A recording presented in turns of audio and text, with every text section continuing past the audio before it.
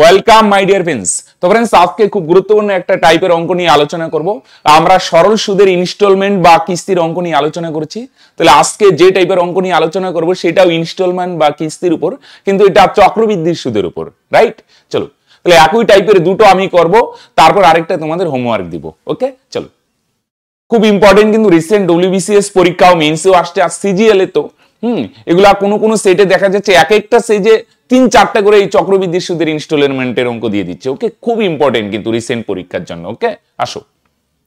এক ব্যক্তি অনেকে ভাবতে পারে ডব্লিউবিসিএস এ আসছে সিজিএল আসে, পুলিশের পরীক্ষায় আসবে না। রিসেন্ট কিন্তু খেয়াল করো ডব্লিউবিসিএস সিজিএল পরীক্ষায় যেগুলো অঙ্ক আসছে, বেশ কিছু টাইপের অঙ্ক কিন্তু পুলিশের পরীক্ষায় দিয়ে দিচ্ছে রাইট চলো, খুব ইম্পর্টেন্ট আয়ত্ত করে নাও। কে কি কোন পরীক্ষা দিবে সেটা বড় কথা না। চলো, শিখার জিনিস শিখে নেই রাইট ভালো লাগবে, আশা করি। কোনো আমরা বীজগণিত দিয়ে করব না। খুব একটা ইন্টারেস্টিং হ্যাঁ? আশা করি কোনো বই বা ইউটিউবে এরকম ভাবে কেউ করাবে না। একটু একদম আলাদা ভাবে, একদম ইউনিক প্রসেস ওকে আসো। এক ব্যক্তি ছেষট্টি হাজার দুইশো টাকা দিয়ে একটি বাইক ক্রয় করেন। এবং তিনি ঠিক করেন সেই বাইকটির মূল্য দশ পার্সেন্ট বার্ষিক চক্রবৃদ্ধি সুদের হারে। দশ পার্সেন্ট বার্ষিক চক্রবৃদ্ধি সুদের হারে তিনটি সমান বার্ষিক কিস্তিতে শোধ করবেন। প্রতিটি বার্ষিক কিস্তির পরিমাণ কত? ওকে? তাহলে ঋণ কত টাকার বলে দেখি। ছেষট্টি হাজার দুইশো টাকা দিয়ে সে একটি বাইক ক্রয় করে। বাইকটা সে ঠিক করে দশ পার্সেন্ট সুদের হারে তিনটি সমান কিস্তিতে সুদ করবে। সে তিনটি হতে পারে, দুইটি হতে পারে নর্মালি চারটি বলবে না ওকে ম্যাক্সিমাম তিনটি বলতে পারে। দুই হাজার একুশ সালে ডব্লিউবিসিএস মেনে যে প্রশ্নটা ছিল, সেখানে দুইটি কিস্তি ছিল। তাহলে আমি তিনটি কিস্তির করেই দিচ্ছি ওকে আসো। তাহলে এই ধরনের অঙ্কে কি প্রসেস করবে বলে দেখি। প্রথম কাজ হচ্ছে পার্সেন্ট যে থাকবে না ভাই? দশ পার্সেন্ট পার্সেন্টকে ভাঙাবে। দশ পার্সেন্ট মানে দশ বাই একশো। তার মানে এক বাই দশ। রাইট চলো। তার মানে কি বলো দেখি? আসল যদি দশ ভাগ হয়, আসল যদি দশ ভাগ হয়, তার মানে সুদ আসল কত হবে? দশ যোগ এক। তার মানে সুদ আসল হবে আচ্ছা সরি সরি দশ ভাগ যদি আসল হয়, তাহলে সুদ আসল কত হবে বলে দেখি? এখানেই করে দিই তো একটু। দশ আর এক যোগ করলে কত হয়? এগারো। দশ পার্সেন্ট মানে কি বলো দেখি? এক বাই দশ, তার মানে আসল যদি দশ ভাগ হয়। আসল মানে ব্যাংকে যদি তুমি দশ টাকা রাখো, তাহলে তুমি তার উপর এক টাকা সুদ পাবে, তার মানে সুদ আসল কত হবে? দশ যোগ এক, অর্থাৎ এগারো টাকা। ওকে? তাহলে আসল যদি দশ ভাগ হয়, এক ভাগ সুদ, তার মানে সুদ আসল কত? দশ যোগ এক, অর্থাৎ এগারো ভাগ রাইট তো আসো। তিনটি কিস্তি নেই এটা তিনবার লিখবে। আসল যদি দশ হয় সুদ আসল কত হবে? এগারো। ওকে একটু ফাঁকা ফাঁকা দিয়ে লিখি, একটু নিচে লিখি হ্যাঁ? আসল যদি দশ হয় একটু কাজ করতে হবে। এটা তিনবার লিখবে। তাহলে আসল দশ হলে সুদ আসল এগারো। কোথা থেকে বোঝা গেল? পার্সেন্ট ভাঙাবে দশ ভাগের এক ভাগ। আসল দশ ভাগ হলে এক ভাগ সুদ সুদ আসল এগারো ভাগ। তিনবার, তিনটা কিস্তি বলছে, এটা তিনবার লিখব। আসল দশ হলে সুদ আসল এগারো। আসল দশ হলে আসল যদি দশ হয় সুদ আসল হবে মন দিয়ে শোনো। তিনটা কিস্তি তিনবার লিখব সেম জিনিস। আসল দশ হলে সুদ আসল এগারো। আসল দশ হলে সুদ আসল এগারো। আসল দশ হলে সুদ আসল এগারো একদম ক্লিয়ার দূর? তিনটি কিস্তি তিনবার। স্যার দুইটি কিস্তি বললে দুইবার লিখব। তারপর নেক্সট কাজ কি? প্রথমেরটা যা আছে তাই থাকবে। সেকেন্ডের সেকেন্ডেরটা দ্বিতীয়টা আমরা কি করব? স্কোয়ার করব। দশের স্কোয়ার ভাঙালে কত হয়? একশো। কেন? এটাই প্রসেস আর পরেরটা কি করব বলে দেখি? এই জায়গাটা হয়তো ফিল হবে না যে কেন? অনেকের মনে হবে, স্যার, কেন? কেনর এটার অ্যান্সার হবে না বস হ্যাঁ। কেনর অ্যান্সার হবে না বললে ভুল হবে, খুব জটিল অ্যান্সার তাহলে এই জটিল অ্যান্সারে যাচ্ছে না, তোমরা মনে রাখো, তিনটা কিস্তির চক্রবৃদ্ধি বলে এই প্রসেসে চলতে হবে। ওকে দশ ভাগ আসল হইলে সুদ আসল এগারো ভাগ, তিনটা কিস্তি বলছে, তিনবার লিখব। প্রথমেরটা যা আছে তাই, পরেরটা স্কোয়ার পরেরটা কিউব যদি দুইটা কিস্তি বলে, তাহলে দুইবার লিখবে। ওকে? ক্লিয়ার তাহলে তিনটা কিস্তি তিনবার লিখব। প্রথমেরটা যা আছে তাই, পরেরটা স্কোয়ার করব। স্কোয়ার ভাঙালে দেখো একশো, এগারো স্কোয়ার একশো একুশ, দশের কিউব এক হাজার কিউব মানে তিনবার। এগারো তিনবার গুণ করলে তেরোশো একত্রিশ। এবার মন দিয়ে শুনবি। প্রথমেরগুলো দিয়ে না আসল বুঝায়, আর পরেরটা দিয়ে কি বুঝাচ্ছে বলে দেখি, এখানে কিস্তি বুঝাচ্ছে, কিস্তি ইনস্টলমেন্ট কিস্তি মানে বুঝছে তো ইনস্টলমেন্ট পরেরগুলা দিয়ে কিস্তি বুঝাচ্ছে। এটা মুছে দিই এখন হ্যাঁ? তাহলে পরেরটা দিয়ে কি বুঝায় কিস্তি। আর প্রথমেরগুলো যোগ করলে আসল পাবে, আসল। আসল মানে এখানে আসল বলতে এর কি? কি ক্রয় করে? বাইকটা ক্রয় করে না বাইকটার দাম বুঝাবে। ওকে তাহলে পরেরটা দিয়ে কিস্তি বোঝায় না, তাহলে পরের কিস্তিটাকে তোমাকে কি করতে হবে? সমান করতে হবে। মন দিয়ে শুনো প্রসেসটা দেখো। এতদূর ক্লিয়ার কি? দশ পার্সেন্ট মানে এক বাই দশ, আসল দশ ভাগ হলে সুদ আসল এগারো ভাগ, তিনটা কিস্তি তিনবার। প্রথমেরটা যা আছে তাই, পরেরটা স্কোয়ার পরেরটা কি এবার পরেরটা দিয়ে ইনস্টলমেন্ট বুঝায় ইনস্টলমেন্ট বা কিস্তি বুঝায় কিস্তি তো সমান। তাহলে পরেরটা দিয়ে কিস্তি বুঝাচ্ছে, কিস্তির পরিমাণটা সমান করি। কীভাবে সমান করবে দেখো? তেরোশো একত্রিশ আছে তো, সবগুলোকে তেরোশো একত্রিশ বানাবো। নর্মালি কি করবে? উল্টো গুণ করবে। এখানে এগারো আর একশো একুশ আছে তো। এগারোকে গুণ করে একশো একুশ দিয়ে, গুণ করে দেখো, এটা হবে তেরোশো একত্রিশ। তেরোশো একত্রিশ। ওকে তাহলে এগারোকে গুণ করবে একশো একুশ দিয়ে, আর একশো একুশকে এগারো দিয়ে, উল্টো। গুণ করলে তেরোশো একত্রিশ হবে। তাহলে পরেরগুলো সেম কেন করব স্যার ভ্যালিড প্রশ্ন। কারণ পরেরটা দিয়ে কিস্তি বুঝায়। কিস্তি বুঝায় তো স্যার কি হলো?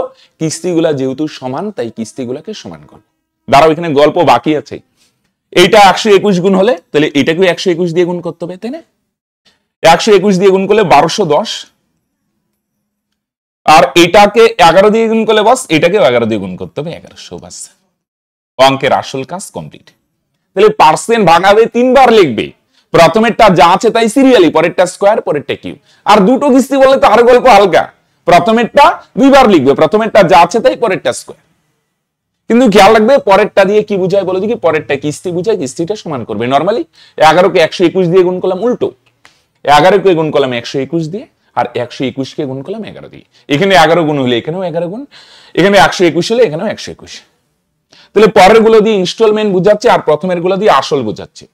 আসল বা, আসল বলতে এখানে বাইকের দাম বুঝাচ্ছে আর কি হ্যাঁ? আসল নকল বলে তো না?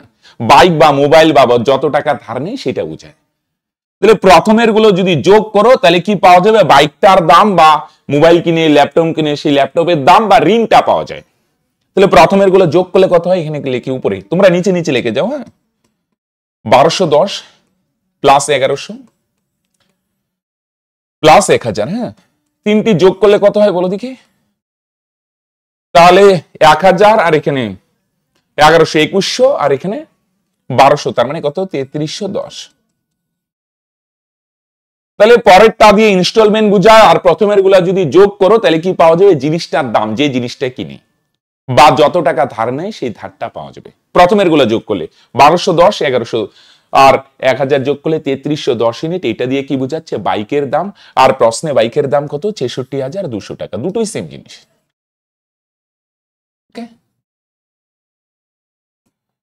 তাহলে তেত্রিশশো দশ তেত্রিশশো দশ ইউনিট, এটাও বাইকের দাম, এটাও বাইকের দাম সেম জিনিস। তাহলে তেত্রিশশো দশ ইউনিটের ভ্যালু কত? ছেষট্টি হাজার দুইশো কত দিয়ে গুণ করলে আসে? তেত্রিশশো দশকে যদি দুই দিয়ে গুণ করে ছেষট্টি হাজার মানে ছয় হাজার ছয়শো কুড়ি, আরেকটা শূন্য দিয়ে গুণ করলে ছেষট্টি হাজার দুইশো। বুঝে গেল? তেত্রিশশো দশ ইউনিটের ভ্যালু ছেষট্টি হাজার দুইশো কত দিয়ে গুণ করলে আসে? কুড়ি দিয়ে। ক্লিয়ার তাহলে প্রথমেরগুলো যোগ করলে বাইকের দাম বা মোবাইলের দাম বা ল্যাপটপের দাম যেটা কিনবে, সেই জিনিসটার দাম পাওয়া যাবে, বা ঋণ যদি নেয়, ঋণটা পাওয়া যাবে। ওকে তাহলে তেত্রিশশো দশ ইউনিটের ভ্যালু ছেষট্টি হাজার দুইশো বস কত দিয়ে গুণ করলে আসে কুড়ি দিয়ে? তাহলে বলছে কিস্তিগুলো কত? প্রতিটা কিস্তি তেরোশো একত্রিশ ইউনিট, তাই না? তাহলে তেরোশো একত্রিশ ইউনিটের ভ্যালু কত? এটারও কুড়ি দিয়ে গুণ করব গুণ করলে দুই ওকে দুই, তিন দুগুণে ছয়, তেরো দুগুণে ছাব্বিশ আর একটা শূন্য। তার মানে ছাব্বিশ হাজার ছয়শো কুড়ি টাকা।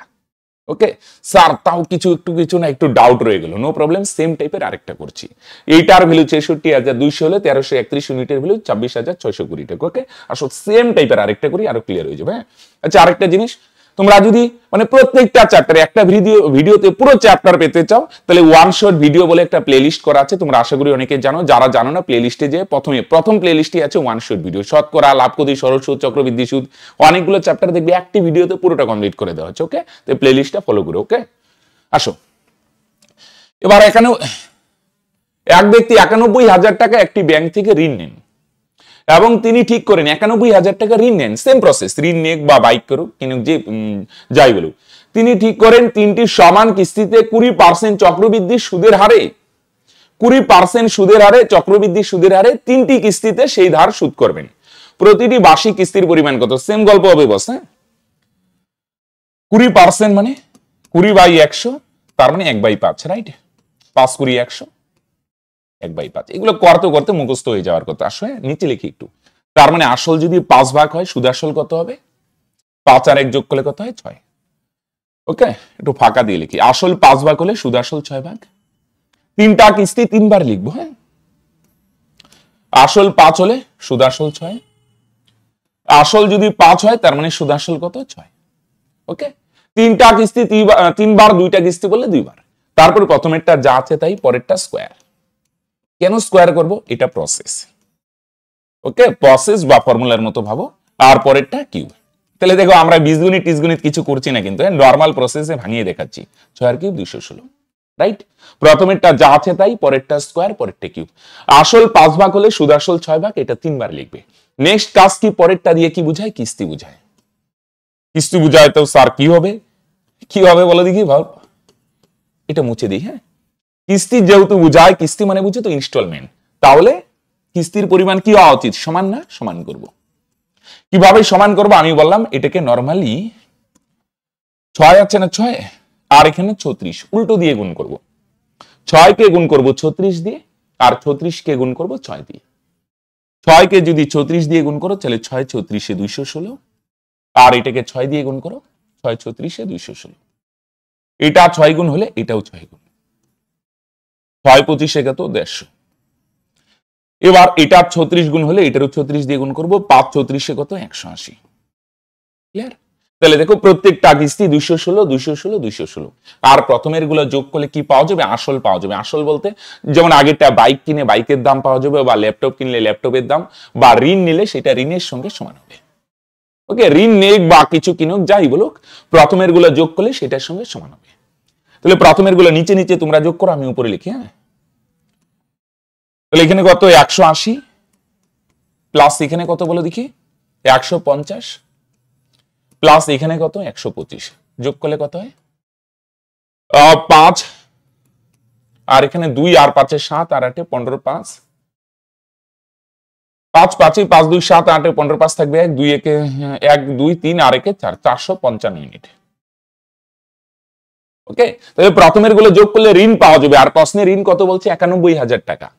তাহলে চারশো পঞ্চান্ন ইউনিটের ভ্যালু তো একানব্বই হাজার। তাহলে আমরা ঋণের পরিমাণ কত বার করলাম? চারশো পঞ্চান্ন ইউনিট। আর প্রশ্নে দেওয়া আছে, ঋণ কত? একানব্বই হাজার টাকা। আমরা দেখলাম, আরে দুটোই তো সেম জিনিস। এটাও ঋণের পরিমাণ, এটাও ঋণের পরিমাণ। চারশো পঞ্চান্ন ইউনিটের ভ্যালু একানব্বই হাজার টাকা। কত দিয়ে গুণ করলে আসে বলো দেখি? চারশো পঞ্চান্নর সাথে যদি দুই গুণ করি, চারশো পঞ্চান্ন দ্বিগুণে কত হয়? নয়শো দশ। আর দুটো শূন্য, তার মানে দুশো দিয়ে গুণ করলে আসে। তাই না? খেয়াল করো প্রথমেরগুলো যোগ করলে ঋণ পাওয়া যাবে। ঋণ কত? একশো আশি, একশো পঞ্চাশ আর একশো পঁচিশ। যোগ করলে চারশো পঞ্চান্ন ইউনিট। চারশো পঞ্চান্নর ভ্যালু একানব্বই হাজার। কত দিয়ে গুণ করলে আসে? দুশো দিয়ে। তাহলে বলছে প্রতিটি কিস্তির পরিমাণ কত? তাহলে প্রতিটি কিস্তি হচ্ছে দুইশো ষোলো ইউনিট। তাহলে দুইশো ষোলোর ভ্যালু কত হবে? এটারও কত দিয়ে গুণ করব? দুশো দিয়ে। তাহলে দুশো ষোলো দুগুণে চারশো বত্রিশ আর দুটো শূন্য, তার মানে তেতাল্লিশ হাজার দুশো টাকা, ওকে? সেম প্রসেস পার্সেন্ট ভাঙাবে, পরে তিনবার লিখবে, প্রথমেরটা যা আছে তাই, পরেরটা স্কোয়ার পরেরটা কিউব দুটো কিস্তি বললে দুবার লিখবে রাইট পরে পরেরগুলো কিস্তি বুঝায় পরেরগুলো সমান করবে, আর প্রথমেরগুলো যোগ করলে বাইকের দাম বা ল্যাপটপের দাম বা ঋণের সঙ্গে সমান হবে, যোগ করলে চারশো পঞ্চান্ন ইউনিটের ভ্যালু একানব্বই হাজার দুশো দিয়ে গুণ করলে আসে তাহলে প্রতিটি কিস্তি দুশো ষোলো, এটার ভ্যালু তেতাল্লিশ হাজার দুশো ওকে আশা করি বুঝতে পারলে। এবার যদি বুঝতে পারো, এই অঙ্কটা আমি করব না, এটা তোমাদের হোমওয়ার্ক থাকবে। এটার অ্যান্সার কি হবে? তোমরা অবশ্যই কিন্তু নিচে আমাকে কমেন্ট করে জানাবে ওকে এখানে দেখো, এক ব্যক্তি বার্ষিক ফোর পার্সেন্ট চক্রবৃদ্ধি হারে দুই বছরে দুইটি সমান কিস্তিতে। দুই বছরে দুইটি সমান কিস্তিতে শোধ করবে, এই শর্তে পঁচিশশো পঞ্চাশ টাকা ধার নিন। ওকে প্রতিটি কিস্তির পরিমাণ কত? সেম এটা দুই হাজার একুশ সালে ডব্লিউবিসিএস মেনে আসছিল। এখানে আরও সহজ করে দিচ্ছে দুটো কিস্তি। তার মানে কি করবে? এটা দুবার লিখবে। বুঝা গেল পরে কিস্তিটা সমান করবে। ওকে তাহলে এটার অ্যান্সার করতে অবশ্যই তোমরা কিন্তু নিচে আমাকে কমেন্ট করে জানাবে। আর একটা জিনিস ফ্রেন্ডস আমরা একটা দুই জানুয়ারি থেকে ডব্লিউবিপি ক্র্যাকার বলে একটা ব্রেচ চালু করেছি পেইড কোর্স ওকে যেখানে সমস্ত subject math, GI, GS English সমস্ত সাবজেক্ট শুধু ম্যাথ না, সমস্ত subject math, GI, GS English, এই চারটি টপিক একদম ধরে ধরে বেসিক টুকু অ্যাডভান্স লেভেলের করানো হচ্ছে। তোমরা যদি সেই কোর্সে জয়েন হতে চাও, কি ধরনের ক্লাস হয় আশা করি ডেমো বুঝতেই পারলে। আমরা ফ্রিতেই যদি এইভাবে ধরে ধরে করি, তাহলে পেড কোর্সে কীভাবে ধরে ধরে রেডি করব, আশা করি হিন্টস পেয়ে গেছো। তো সেই কোর্সে যদি জয়েন হতে চাও, একদম ধরে ধরে বেসিক টু অ্যাডভান্স লেভেলের সমস্ত কিছু করানো হবে প্লাস মাইন্ডসেটের জন্য মেন্টাল প্রোগ্রামের ক্লাস থাকবে। এই সমস্ত কিছুতে যদি তোমরা জয়েন করতে চাও, তাহলে সিম্পল ডেসক্রিপশনে বা পিন কমেন্টে চলে যাও, সেখানে আমাদের অ্যাপের লিঙ্ক দেওয়া আছে অ্যাপটা ইনস্টল করে ডব্লিউবিপি ক্রেকার বেচ করতে পারো, মাত্র চারশো নিরানব্বই টাকা। একবারই পেমেন্ট করতে হবে, তারপর আর মান্থলি কোনো ফিস নেই ওকে তাহলে ইন্টারেস্টেড থাকলে লেট করে এক্ষুনি নিচে দেওয়া লিঙ্কে ক্লিক করে অ্যাপ মানে পিন কমেন্টও পাবে ডেসক্রিপশনে পাবে। ক্লিক করে তোমরা অ্যাপটি ইনস্টল করে ডব্লিউবিপি ক্রেকার বেচ করে নিও, ঠিক আছে? তাহলে আজকে এখানে শেষ করছি, দেখা হচ্ছে নেক্সট ভিডিওতে